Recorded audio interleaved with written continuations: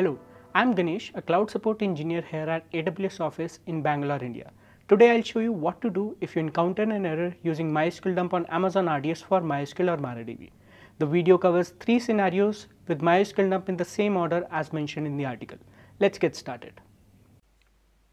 Let us start with an error observed while creating a dump from an RDS instance. As you can see, I have already logged into the instance. When using the master data option with MySQL dump to export data, you might receive an error such as couldn't execute flush table with read locks, as observed in the screen. The root cause of the error is that master data option executes a flush tables with read lock, which requires super privileges that the master user doesn't have in RDS. To resolve this error, you need to remove the master data option.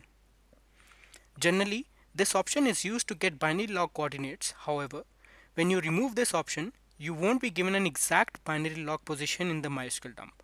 To work around this issue, you can take the MySQL dump when your application isn't performing writes, but doing so leads to downtime. There is another way to resolve this. You can take the MySQL dump from an Amazon RDS read replica. Let's check out the read replica method. As you can see in the screen, I've created a read replica of my instance and I'm connected to it. To start with, you will need to stop the replication by calling the RDS stop replication procedure using this command. Then exit the MySQL session using the exit command. Further, you can generate the dump without master data option. After the dump file is successfully generated, you can connect to the instance again and then record the binary log position using the command show slave status.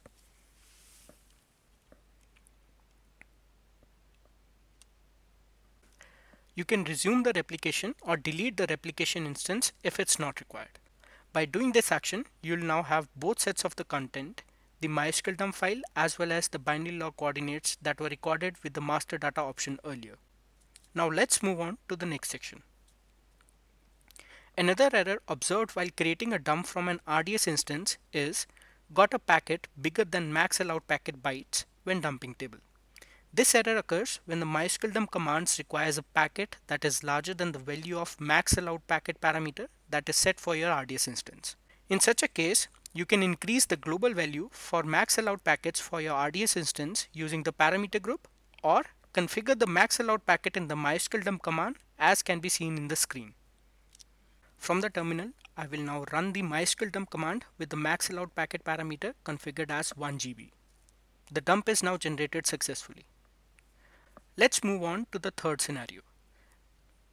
When you observe error 1227 while restoring a dump to an RDS instance created by MySQL dump utility, you should check the line number mentioned in the error message in the dump file and then analyze the command written at that line to proceed further. In case the command causing the error is an object such as trigger, view, function, or event, and the target RDS instance has binary log enabled, you will need to enable log bin trust function creators parameter as a prerequisite. However, if that's not the case, it could be possible that the command is trying to create an object with a definer attribute user that doesn't exist in your DB instance, or you try to create an attribute user that doesn't have the required superuser privileges. You can see in the screen that the import has failed with error 1227 on line 61. Now, Let's check the statement at line 61 in the dump file. You can see that the line contains a definer with user root and a host as localhost. To fix this issue, you can either remove the definer line as follows or you can rename the definer user root to the master user of the RDS instance and then replace localhost with percentile as the host as seen on the screen. If this isn't the case and the culprit command is a native engine command which requires super privileges that aren't provided to the RDS master user, you'll need to remove that command. Thanks for watching and happy cloud computing from all of us here at AWS.